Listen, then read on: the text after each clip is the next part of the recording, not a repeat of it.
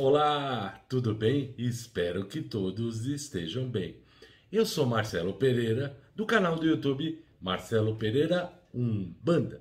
Minha gratidão para você que me segue aqui nesse canal, no Instagram e agora no TikTok. Olha só que legal!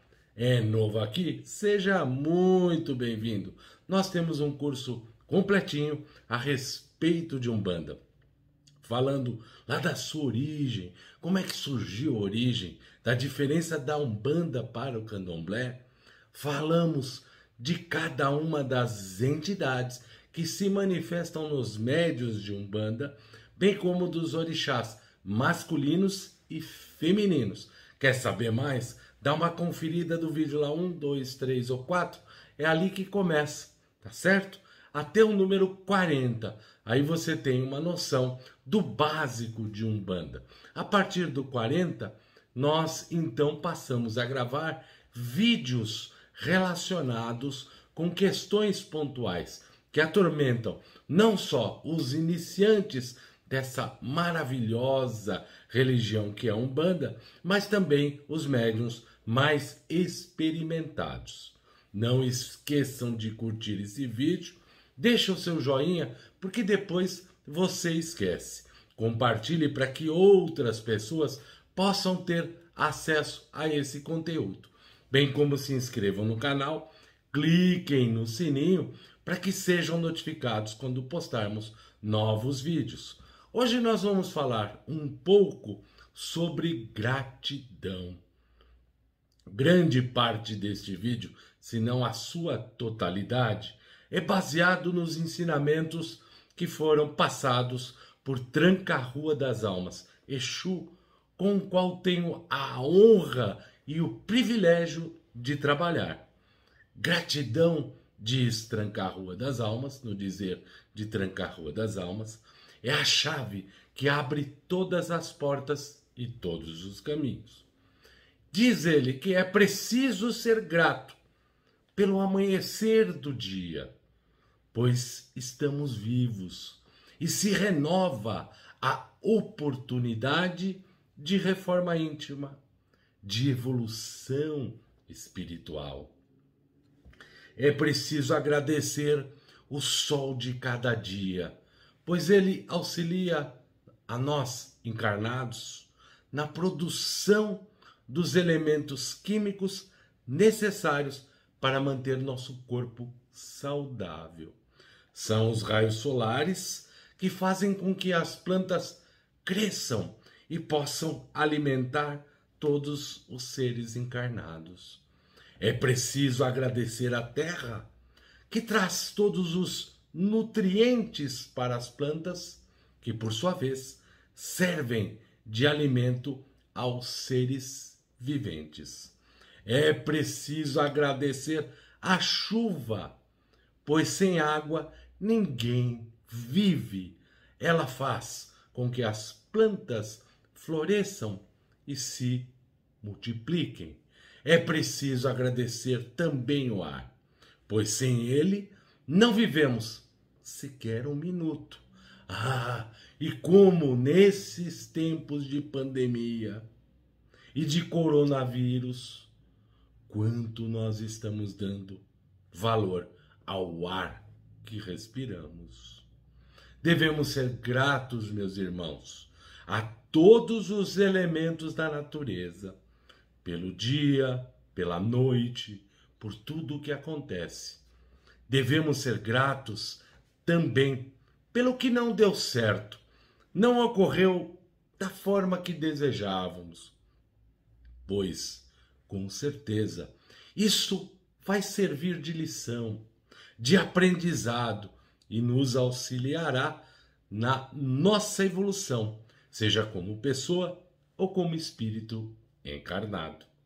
Devemos ser gratos até pelo que deu errado, sim, porque não temos a menor ideia do que poderia ter ocorrido, pois coisas muito piores poderiam ter acontecido, sendo que deu errado pode representar um livramento, uma proteção, algo que foi retirado do seu caminho. Evitado então um mal maior, aconteceu um mal menor. Já diz o ditado, não é, meu irmão? Vão-se os anéis, mas ficam os dedos. A gratidão é importante ferramenta na caminhada de todos nós encarnados, pois quando a expressamos, nós irradiamos energias puras, límpidas, de altíssima vibração, sendo que tudo que se planta, nós também colhemos. Devemos ser gratos todos os dias, todas as horas. Devemos nos envolver nessa espiral de gratidão e todo o universo, toda a natureza nos devolverá aquilo que emanamos. Nós não podemos, né, esquecer, meus irmãos, na condição de espíritos encarnados, nós somos emanadores, emanamos todo o tempo, a todo momento, energia e também absorvedores, absorvemos a todo tempo e a todo momento energia também. Pela lei da afinidade ou identidade energética, atraímos então tudo aquilo que é idêntico à energia que emanamos. Assim será próspero aquele que exala prosperidade. E prosperidade, meus irmãos, não se mede pelo saldo da conta bancária, mas pela sua saúde, pela sua alegria, pelo viver bem em paz consigo mesmo e com todos aqueles que o rodeiam. A gratidão, meus irmãos, é a chave universal, capaz de abrir todas as portas e todos os caminhos. Não há caminhos fechados para o grato. Não há dificuldades para aquele que vive em gratidão. Aqueles que reclamam de tudo e por tudo somente atraem aquilo que não edifica, pois reclamar é clamar mais e mais ao universo daquilo que se experimenta. Seja grato hoje e sempre. Pare de reclamar e verá como as coisas ao seu redor vão se modificar. Faça esse teste. Eu lanço este desafio para você que me escuta neste momento. Vejam como a prosperidade, se você mudar o teu padrão vibratório, vai bater na sua porta. Como a paz de espírito vai lhe trazer cada vez mais energia para perseguir os seus objetivos, os quais são seus e de mais ninguém, pois o caminho a percorrer é só seu. Viu, meu irmão, minha irmã, que me escuta neste momento. Cada ser tem o seu caminho, tem a sua trajetória, a sua história, a sua vivência, as suas experiências. Ninguém é igual a ninguém. Ninguém precisa ser igual a ninguém. Não há um modelo único, pois cada ser encarnado se encontra em um estágio diferente de evolução. É preciso entender isso, aceitar isso, olhar para o outro, entendendo que cada pessoa é diferente e por isso age, pensa, ama, sente de forma diferente sem que isto seja necessariamente certo ou errado.